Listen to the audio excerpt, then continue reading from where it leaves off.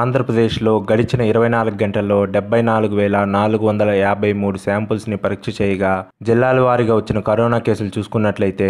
అనంతపూర్లో రెండు వందల అరవై నాలుగు చిత్తూరులో నాలుగు వందల డెబ్బై రెండు ఈస్ట్ గోదావరిలో ఏడు వందల నలభై మూడు గుంటూరులో రెండు వందల డెబ్బై మూడు కడపలో నూట అరవై కృష్ణలో మూడు వందల అరవై ఎనిమిది కర్నూలులో నూట ఇరవై ఆరు నెల్లూరులో రెండు వందల ముప్పై ఆరు ప్రకాశంలో మూడు వందల యాభై ఏడు శ్రీకాకుళంలో నూట ఎనభై విశాఖపట్నంలో రెండు వందల యాభై ఒకటి విజయనగరంలో ఎనభై వెస్ట్ గోదావరిలో ఆరు వందల యాభై తొమ్మిది కేసులు నమోదవగా రాష్ట్రం మొత్తంగా నాలుగు వేల నూట అరవై తొమ్మిది కోవిడ్ పాజిటివ్ కేసులు నమోదయ్యాయి అలాగే ఎనిమిది వేల మూడు వందల డెబ్బై ఆరు మంది కోవిడ్ నుంచి రికవరీ అయ్యారు